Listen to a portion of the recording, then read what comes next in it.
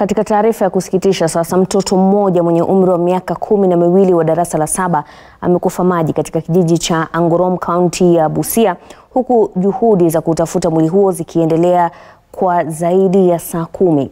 Mtoto huyo alikuwa akiogelea kwenye kidimbwi chenye kina eh, cha takriban futi sita pamoja na wenzake saba baada ya kutoka shuleni kabla ya kuzama. Mwalimu mkuu wa shule ya msingi ya Ngorom Gerald Okisai alikokuwa akisomea marehemu amewaonya wazazi kuwa waangalifu msimu huu wa likizo ili kuepuka ajali kama hizo. We've seen the body, but uh, we are lacking oxygen.